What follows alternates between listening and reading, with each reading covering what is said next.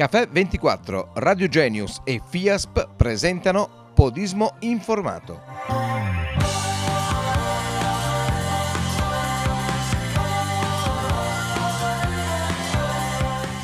Cari amici di FIASP Podismo Informato, buonasera a tutti e ben ritrovati a questo appuntamento che da Caffè TV24 va in onda tutte le settimane per parlare del podismo padovano e non solo. Allora, questa settimana chiaramente è una pausa, diciamo così, non prevista se vogliamo, ma comunque eh, non ci sono manifestazioni in programma per quanto riguarda il Comitato di Padova, ma chiaramente usciamo da una settimana molto intensa anche per quanto riguarda proprio le nostre attività. L'impegno che abbiamo avuto in questi giorni a livello organizzativo sono importanti e ci vedono, diciamo così, uscire da quelle che sono state le, i rinnovi delle cariche del Comitato per il prossimo quadriennio prossimo quadriennio che mi vedrà ancora una volta, ahimè, eh, a capo della, diciamo così, dell'organizzazione del Comitato di Padova, ma sarò affiancato in questo mio percorso da dieci amici che sono stati eletti appunto nell'assemblea di lunedì sera e che sono alcuni volti che voi ben conoscete, eh, in particolare mi riferisco a Piercarlo Cavalletto e a Matteo Fasolato che normalmente condividono con me l'esperienza di Fiat, Fiat Podismo Informato, Carla Caregnato, Dario Vettorato e poi una serie di persone che si affacciano all'interno del comitato come organizzazione per la prima volta parlo dell'amico Aristide Battistelli in rappresentanza dell'associazione A l'Intesa San Paolo piuttosto che Paolo Faccin del gruppo eh, Caput Mundi, Fabio Faggin del gruppo eh, podistico dell'Atletica eh, Foredil di San Giorgio delle Pertiche eh, Donato Bernardinello in rappresentanza del gruppo Corrieste, Al De Blasio che è il nostro amico del gruppo Solani Runners, Federico Camon del gruppo Corri le Mura Corri e quindi abbiamo una compagine che sicuramente rappresenta tutto il territorio da, da nord a sud, da est a ovest della provincia di Padova. Questa settimana, diciamo così, è una settimana un attimino di studio, di riorganizzazione. La settimana prossima chiaramente inizieremo a lavorare per costruire il nuovo comitato, per andare a definire quelle che saranno le cariche all'interno del comitato e le attività che poi ci andremo a mh, organizzare per il prossimo quadriennio. Quindi io intanto ringrazio tutti per coloro che hanno collaborato a questa iniziativa e coloro che hanno accettato di buon grado di mettersi a disposizione. Chiaramente ci sono anche dei non, dei non, eletti, sono Federico Peruzzo e Gianni Frison, che sono due persone che rimarranno comunque, fanno parte importante del nostro staff e saranno persone che saranno poi le nostre rappresentanti in seno all'Assemblea Nazionale FIASP. Quindi tutti noi saremo tutti impegnati per portare avanti per questi prossimi quattro anni le iniziative del Comitato. Settimana scorsa l'appuntamento clou che noi avevamo era la 45esima Passo di Fine Inverno una manifestazione che ha visto la partecipazione di oltre eh, 2200 partecipanti, 64 gruppi podistici presenti, un percorso di 22 km, 14 e 7 km lungo, diciamo così, i pendii dei Colli Ugani nella parte sud eh, occidentale, quindi Rivadolmo di Baone, Calaone, Valle San Giorgio, Montecero, Baone appunto capoluogo,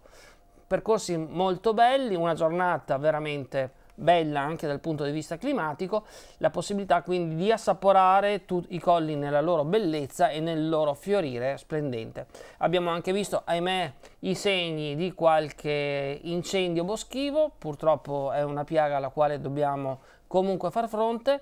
e un po' diciamo così il compito anche nostro come podisti è quello di osservare il territorio, di presidiarlo e anche magari di portare un po' di pulizia per quanto ci riguarda, quindi se troviamo qualcosa lungo strada si chiama plugging ed è un'iniziativa diciamo così di raccolta delle mondizie fatta per chi cammina e corre che contribuisce al, diciamo così, alla qualità della vita nel nostro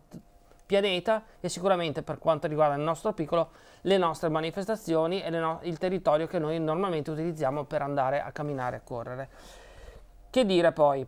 Chiaramente questa settimana è una settimana, come dicevo, in, nella quale non abbiamo manifestazioni podistiche specifiche in programma in provincia di Padova, ma sicuramente i nostri vicini di, di, di provincia, vi, parlo di Vicenza e Verona in modo particolare, non ci fanno mancare certo appuntamenti. E comincerei subito a parlare, ad esempio, di San Pietro di Morubio, a Buona, in frazione Bonavicina, la camminata dei tre campanili di festa, siamo in provincia di Verona, su percorsi di 6, 9, 14 e 20 km con partenza dalle ore 8.30 alle ore 9. Ricordo che domenica entra in vigore l'ora legale per cui l'anticipo di un'ora rispetto al, all'orario attuale. A Caltrano in provincia di Vicenza la marcia delle contrade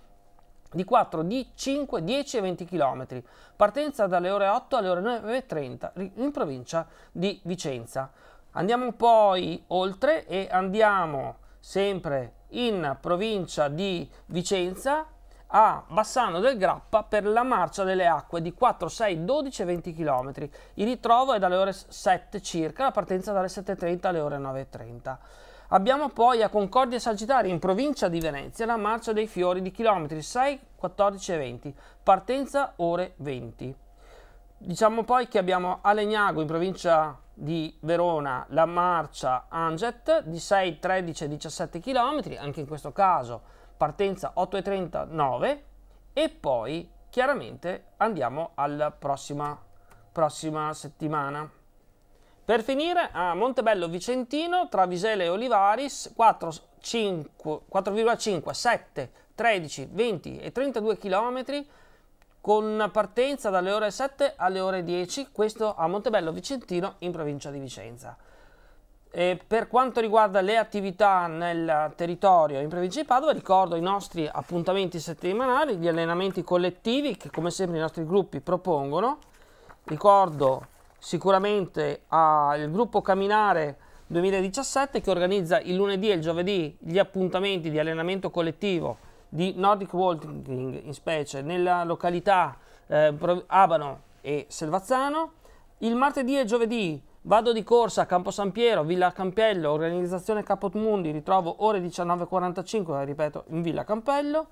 Piove di Sacco, sempre il martedì, il training 19.30, fronte Duomo di Piove di Sacco, con i classici appuntamenti e le distanze di circa 10 km per i runner e 6 km per i camminatori, organizzato dal gruppo Rain Runners. Il mercoledì gli appuntamenti di Cammina e Corri per Taggi di Sotto a Taggi di Sotto, ritrovo di fronte alla chiesa di San Nicola alle ore 19.30 circa per i camminatori. Il Cammina e Corri per il tuo comune a San Giorgio delle Perti che ritrovo attorno alle 19.45. Impianti sportivi di San Giorgio delle Pertiche, organizzazione atletica Foredil.